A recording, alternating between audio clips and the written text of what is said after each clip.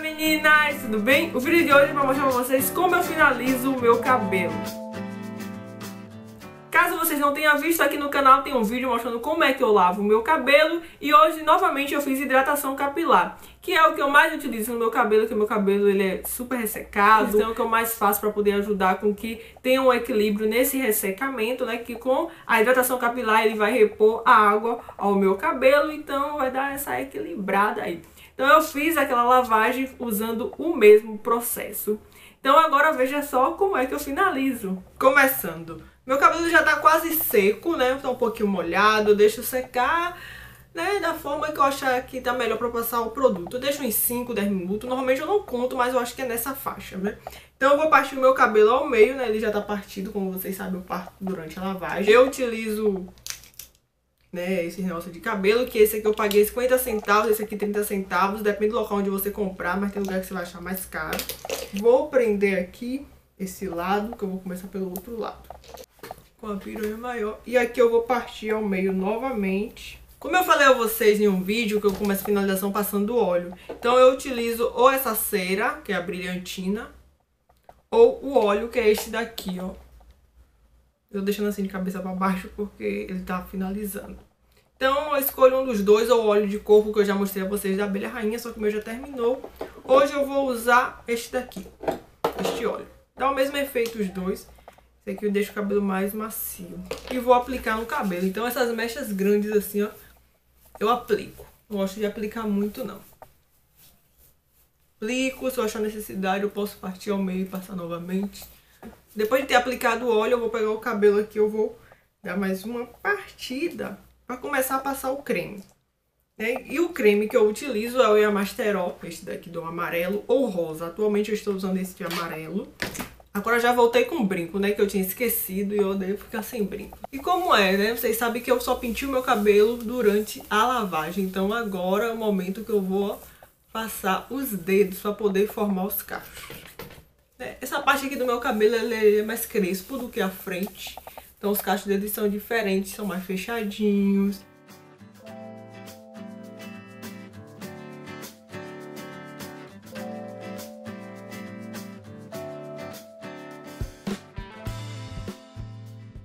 Outro creme que eu vou utilizar é este daqui da Nutri-Hair. Nem todo mundo gosta. Eu não sou uma pessoa que eu faço lopu no pu, então não olho essas coisas, já tá finalizando. Só coloco um pouquinho na minha mão, acho que eu apliquei até muito. E vou aplicar aqui, ó, porque ele ajuda nos cachos. Tem vezes que eu utilizo somente o Emasterol e tem vezes que eu uso com ele. Então hoje eu sinto necessidade de usar ele. Vou pegando aqui umas mechas fininhas só pra ajudar mais ainda nos cachos. E agora que eu já apliquei, outro produto que eu vou passar é o gel relaxante da Capsilin. Coloco somente um pouco na mão ele vai ajudar. Eu posso aplicar depois ou agora, né? Eu não tenho uma ordem. Às vezes eu coloco durante, como este momento, às vezes eu coloco depois que eu termino todo o cabelo. Mas eu não tenho uma ordem certa não. Na maioria das vezes eu faço assim. Agora eu vou pegar outra mecha e vou fazer o mesmo passo a passo.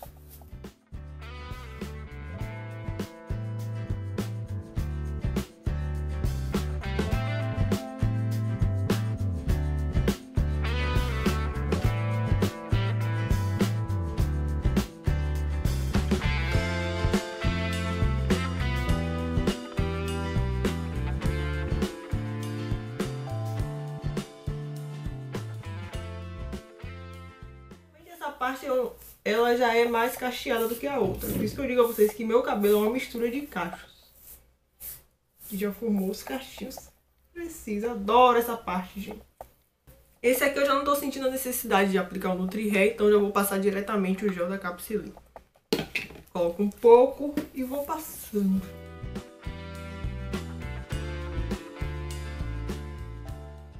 Agora eu vou unir aqui os dois com a mão assim mesmo.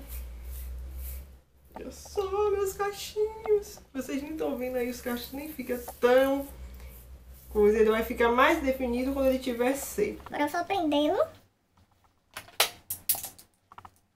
Agora que cheguei aqui na frente, eu parto ao meio. Daqui pra cá. Mesmo.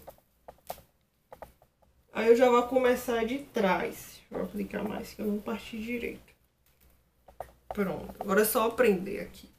Vejo que preciso de mais óleo, então aplico. E vai ser o mesmo processo. Se eu sentir necessidade, eu coloco o produto da Nutri-Hair. Mas provavelmente eu não vou sentir que os cachos aqui são mais abertos.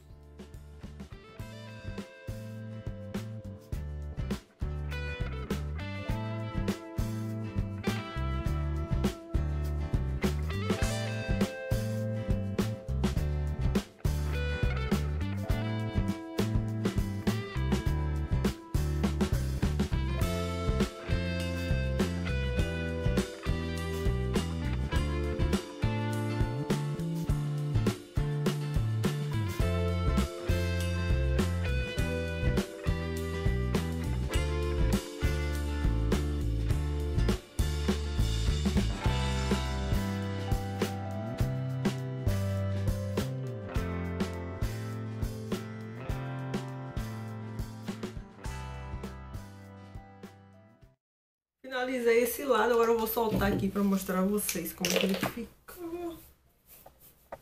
Olha só, ele fica super encolhido. Aqui abaixo que é a parte que não tem tantos cachos assim. Então ele vai secando e os cachos vão se formando, vão se desenvolvendo melhor. O cabelo costuma ficar branco sim, mas depois some. Aí depois eu vou arrumar aqui, vou fazer um penteado, aí ele vai coisar melhor. Aí aqui abaixo, ó, se eu sentir necessidade, aplico mais um pouquinho de creme. Porque aqui não firma, aqui os cachos são 4A, ou que os cachos são 4C, 4B, um desses cachos aí. Que são super crespos. Meu cabelo é super crespo aqui abaixo e aqui ele vai se formando. Agora eu vou passar para o outro lado que vai ser o mesmo processo.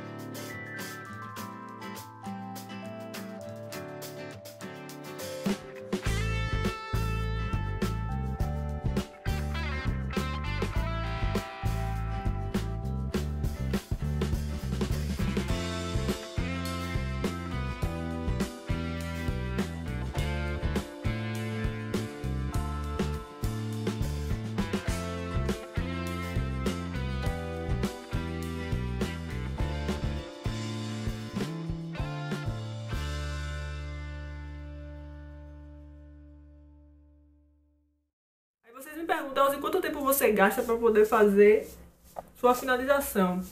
Mas meia hora, gente. Como eu tô gravando, meia hora não, né? 20 minutos. Como eu tô gravando vídeo, eu gastei aqui uns, uns 40 minutos. Então vamos lá fazer o penteado. Eu vou fazendo um penteado, eu vejo que precisa de mais creme, porque aqui, ó, tá seco. Então eu vou passar mais creme ou o gel da Capsilin. Agora que eu finalizei o cabelo, eu vou passar o pente garfo, né, pra dar um volume nele. E depois eu faço o penteado que eu quero com o mist. Tem vezes que eu utilizo com o volume mesmo do meu cabelo, dependendo do penteado que eu vou fazer. E tem vezes que eu, tenho, eu coloco o volume com o pente garfo. Depois de finalizar meu cabelo, fiz esse penteado aí que vocês viram, de detalhes. Eu não sei se tem vídeo aqui no canal mostrando como é esse penteado, mas é só aplicar o mist aqui do lado e aqui deste lado, porque meu cabelo tá perdendo o, a graça de ficar com, no black, ele tá querendo baixar já, então aqui eu tenho que colocar o mist para poder segurar ele e dar essa, esse volume que eu gosto aqui, porque senão ele fica caído aqui, assim, igual aqui na frente, ó, que já tá querendo ficar assim. Então é isso mesmo, espero que vocês tenham gostado do vídeo, espero que eu tenha explicado bem. Esta é a forma que eu finalizo o meu cabelo, sempre. Muito raro eu fazer fitagem, que é, no caso eu faço uma finalização misturada com fitagem, onde eu vou penteando com os próprios dedos o meu cabelo, como vocês viram, eu só utilizo, o único pente que eu utilizo é o pente garfo, porque eu penteo e desembaraço o meu cabelo durante a lavagem. Você pode até jogar aí na internet fitagem, que você vai ver como é o processo, caso você não tenha conhecimento, mas fitagem é você fazendo por mechas mais finas e vai passando o dedo. Como eu faço finalização normalmente, quando eu faço a minha lavagem, eu pego uma mecha grande e vou fazendo assim com, dedo, com os dedos, porque é assim que vai acontecer, ele vai separar mais os meus cachos, formar, desenvolver melhor os cachos, porque quando a gente vai pegando, passando assim, os cachos ficam meio doido. Eu já fui dessas, né, de pegar o meu cabelo, juntar tudo e passar o dedo e não ficar os cachos tão bonitinhos assim, né, porque assim os cachos ficam mais soltos, né, mais bonitinhos, mais à vista, Mas, né, adoro fazer assim, gente. Então, normalmente eu lavo meu cabelo ou uma ou duas vezes na semana, isso vai depender muito do que ele estiver pedindo. Se ele estiver muito sujo, vai ser duas vezes, se ele estiver menos, é uma vez na semana. Então depois eu vou gravar um vídeo pra vocês mostrando como é que eu cuido ele a decorrer pra ele durar uma semana ou quase uma semana. Uma semana não, alguns dias assim que eu ainda nunca parei pra contar, né? Mas acho que é uma semana mesmo, né, gente? Porque normalmente eu lavo meu cabelo sábado ou quinta-feira, domingo. Mas atualmente eu tô lavando mais duas vezes na semana. Então aí tem alguns cuidados que eu faço para permanecer ele, né? Para poder ele durar mais dias, para não precisar todo dia ficar passando creme no cabelo, né? Eu tenho, eu tenho alguns processos que eu gosto de utilizar para não ficar passando creme todo dia. Então esse é o vídeo de hoje, espero que vocês tenham gostado do vídeo e tchau, tchau e até mais. Tchau!